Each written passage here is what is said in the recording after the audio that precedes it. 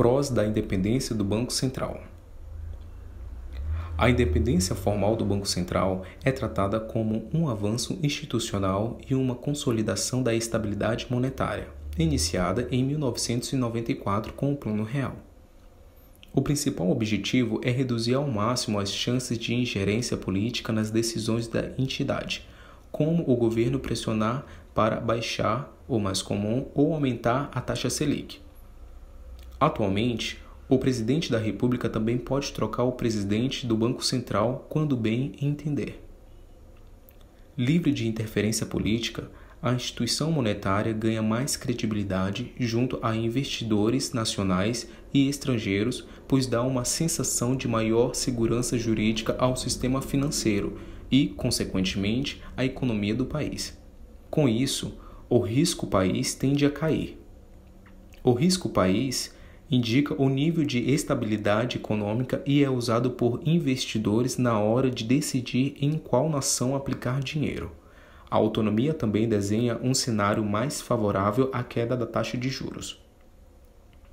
O governo destaca que o objetivo do projeto é assegurar que o Banco Central continue desempenhando o papel de garantir a estabilidade monetária de maneira robusta e com segurança jurídica.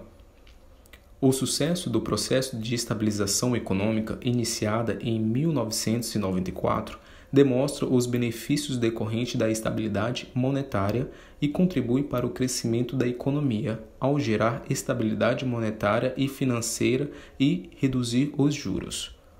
Tudo isso fornece as bases para o aumento da produtividade, da eficiência na economia e, em última instância, do crescimento sustentável, objetivo da sociedade como um todo, argumento o governo. Banco Central independente como fomentador do crescimento econômico. Dado que um Banco Central independente é menos propenso a pressões políticas, suas ações podem ser realizadas de forma mais prognosticada, o que contribui para maior estabilidade econômica e crescimento. Boa parte dos economistas tem sustentado a hipótese de que a inflação é prejudicial para o crescimento econômico, uma vez que o efeito direto é o aumento do nível de incerteza.